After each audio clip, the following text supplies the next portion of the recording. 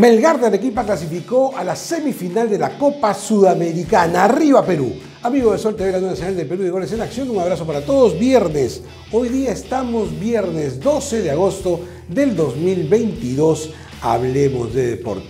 Efectivamente, Melgar ha clasificado a la, a la semifinal de la Sudamericana. Algo que no pasaba con el fútbol peruano desde hacía 19 años. Esa es la estadística. La Copa Sudamericana comenzó en el 2002. En el 2003 Cienciano fue campeón. Desde entonces, nunca más un equipo peruano llegó a ponerse entre los cuatro mejores de la competencia. Pasaron bolivianos, ecuatorianos, paraguayos, chilenos, colombianos, argentinos, uruguayos, brasileños, todos menos los peruanos. Nunca más, después de Cienciano, nunca más en una semifinal hasta ahora. Melgar de Arequipa ayer en Porto Alegre logró la clasificación a su estilo, jugando bien, defendiendo magníficamente, con actuaciones individuales altas, con un colectivo que sabe qué hacer, que maneja bien los tiempos del partido. Su único problema volvió a exhibirlo otra vez. No tiene gol, tiene un problema con el gol Melgar que tiene que solucionar. Pero con el 0-0 aguantó hasta el final. Inclusive en algún momento todos respiramos porque el Inter se quedó con uno menos. El partido siguió parejo, Melgar no perdió la cabeza y llegó hasta los penales. 0 a 0. Gran partido de Orsán, para mí el mejor de la cancha. Partidazo de Orsán ayer Gran partido de Demostier, espectacular en la saga, con cumplimiento de Galeano, de los laterales, muy buen partido de Tandazo, no entiendo por qué lo sacaron.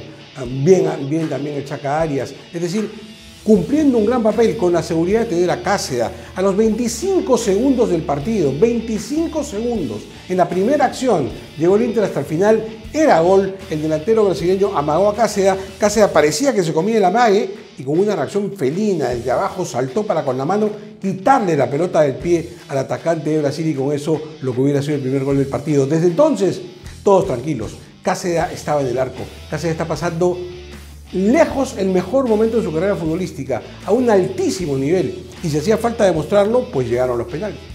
Y ya en los penales apareció el show de Cáceres. Fue realmente impresionante lo que logró Cáceres en esa definición de penales, que fue francamente eh, fantástica. El primer penal lo tenían que patear los brasileños. Bueno, frente al balón se colocó el capitán del equipo de Brasil, Edenilson, estaba frente a Cáceda, remató hacia la izquierda de Cáceda y Cáceda atajó. Ahí comenzó el show de Cáceda. Luego Cabrera, qué lindo. Al equipeño jovencito, el más joven del partido, le dieron la oportunidad del primero en patear y Cabrera anotó. Le pegó un fierrazo como hay que pegar un penal. Ah, el chico no le tembló las piernas, un fierrazo al centro, el arquero se echó a la izquierda en el 1-0 para Melgar. Después se puso frente al balón Tyson que acababa de ingresar. Fue un tapadón de Cáceres. Pelota a la derecha del arquero, el arquero se lanza arriba, tuvo que cambiar la mano para llegar y la mano izquierda sacó la pelota por segunda vez. Tapadón de Cáceres, tapadón de Cáceres. Llegó entonces el turno de Galeano y Galeano lamentablemente desaprovechó la oportunidad, le taparon el penal a Galeano. Y entonces la cosa seguía 1-0 a favor del Melgar de Arequipa. Y entonces se paró de pena frente al balón para pateársela a, a, Cáceres, volvió a patear hacia la izquierda y Cáceres volvió a tapar. Primero a la izquierda, después a la derecha, después a la izquierda de nuevo, volvió a tapar. Tercer penal consecutivo. Yo he visto muchas definiciones de penales en mi vida, pero no recuerdo, no quiere decir que no haya ocurrido, pero no recuerdo que un arquero tape los tres primeros penales de la tanda. Impresionante Casea. Llegó entonces puesta frente al balón, el goleador se la tiró a la izquierda, el arquero fue para la derecha, era 2 a 1 para Melgar y a partir de ese momento tranquilidad total, tranquilidad total. La próxima vez que tape Cáceres, ganaba Melgar. Y si no, el primer gol gana Melgar era para Melgar. Fue entonces que Pedro marcó el único gol en la definición de penales para los brasileños y frente al balón Iberico, que había ingresado, remató hacia la izquierda del arquero, el arquero fue, pero no alcanzó y con eso Melgar del equipo logró la clasificación 3 a 1 por penales, está en las semifinales de la Copa Sudamericana. Aplausos para el equipo eh, rojinegro. Eh, va a jugar las semifinales contra el Independiente del Valle, un equipo ecuatoriano. Ojo que el Independiente del Valle es un muy buen equipo. El año 2019 fue campeón de la Copa Sudamericana, o sea, a no mirar a nadie por encima del hombro. Independiente del Valle es un tremendo equipo. Está en las semifinales, ha sido campeón hace poquito de la Copa Sudamericana. Por ahora todos tranquilos, hasta fin de agosto no vuelve a haber competencia, a respirar, a saborear el momento, un momento que el Perú no vivía, repito, desde hace 19 años. Hace 19 años el Cienciano del Cusco le ganó al Santos de Brasil, curiosamente un brasileño también, y clasificaba para las semifinales de la Copa Sudamericana. En aquel entonces se enfrentó al Atlético Nacional de Colombia. Esa alegría de hace 19 años es la que hoy día tiene que vivir otra vez el pueblo peruano, gracias otra vez a un equipo del sur del país. Hace 19 años Cienciano, hoy Melgar de Arequipa, dándonos esta alegría de estar en semifinales. Un paso a la vez, ya hablaremos del Independiente del Valle, buen equipo, pero Melgar también es buen equipo y tiene como para seguir avanzando y darnos una alegría todavía mayor. A la distancia, un abrazo a todos los dominó. Gran clasificación, gran campaña, gran partido. Arriba Melgar y Melgar. Contabilidad Financiera es una consultora que brinda servicios de outsourcing contable, tributarios y de planillas. Somos profesionales con más de 15 años de experiencia en el mercado. Somos Contabilidad Financiera y buscamos la mejora continua de su negocio. Hay mucho fútbol el fin de semana, se los cuento. El campeonato peruano, que está súper interesante, se juega una nueva fecha. Va a ser entre el sábado, el domingo y el lunes. El sábado, cuatro partidos. A las 11 de la mañana, Cristal, que quiere capturar la punta del acumulado, recibe al Carlos Stein. A la una y cuarto, Carlos Manucci contra San Martín. A las tres y media de la tarde, Ayacucho va a recibir al ADT de Tarma. Y a las 7 de la noche, en el Estadio Monumental Universitario de Deportes, que quiere volver a meterse al grupo de los ocho, es local frente al Binacional, equipo que también está peleando por esas mismas posiciones. Me toca transmitirles ese partido desde la señal de Gol Perú. Hoy día, por supuesto, a las 10 de la noche los espero en la tribuna, que tenemos, entre otras cosas, entrevista exclusiva con Juan Reynoso. No se la pierdan. Y, por supuesto, mucho en Melgar. El día domingo, 11 de la mañana, Alianza Atlético contra Vallejo. A la 1 de la tarde, Grau contra Municipal. A la 1 y cuarto, Boys contra Cienciano. El Cienciano está puntero en el campeonato clausura. Quiere mantener la punta contra los Rosados y a las 3 y media de la tarde, Huancayo contra UTC de Cajamarca. El partido entre Boys y Cienciano se los estaré transmitiendo también desde Gol Perú. El día lunes se cierra la fecha con el partido entre Melgar y Cantolao. Habrá que aplaudir a Melgar. El estadio de la UNSA debería estar reventando para aplaudir al Melgar, ¿no? Espero que sí. Eh, fútbol en el exterior. Vamos con los peruanos en el extranjero. Rapidito. El día sábado comienza la Liga Española. A las 10 de la mañana, el Celta de Vigo con Tapia estará enfrentando al Español. Segunda fecha del Eredivisie, el campeonato holandés. El Feyenoord de López estará jugando contra el Jerenbien a las 2 de la tarde y una hora antes el Emen va a recibir al Walwick, el Emen donde juegan Araujo, Pacheco y Sánchez, tres peruanos.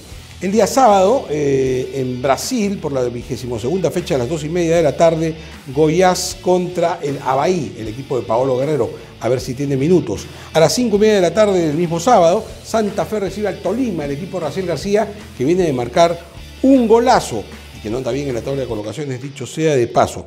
El día sábado, por la Liga Mexicana, a las 7 y 5, Pumas contra el América. Ya saben que en México andan mal todos los peruanos.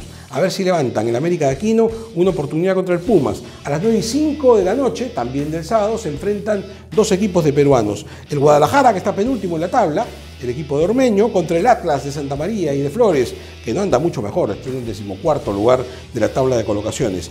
La Liga Mexicana se cierra el domingo con un partido a las 5 de la tarde entre Cruz Azul de Abraham y el Toluca, el puntero del campeonato. Durísimo partido para Abraham. A ver, ¿qué más les cuento? Eh, sábado, la MLS, varios partidos el día sábado. A las 5 de la tarde, el New York Reebok contra el Orlando City, el equipo de Galese y de Cartagena. A las 7 de la noche, el Inter de Miami contra el New York City, el equipo de Callens, que está lesionado. El New York City quiere llegar a ser puntero, está ahí nomás persiguiendo al Filadelfia. Y a las 9 y media de la noche, Los Ángeles Fútbol Club contra el Charlotte, el equipo de Reina, que anda prendido, que anda haciendo goles. El día domingo, el fútbol de la MLS a las 9 de la noche, el Seattle Sanders de Ruiz Díaz va a ser local frente al Real Salt Lake. El día domingo también eh, en Argentina, por la decimotercera fecha, a las seis y media de la tarde, Boca Juniors, el equipo de Advíncula y Zambrano, va a visitar al Racing Club, que anda quinto en la tabla, Boca anda décimo primero.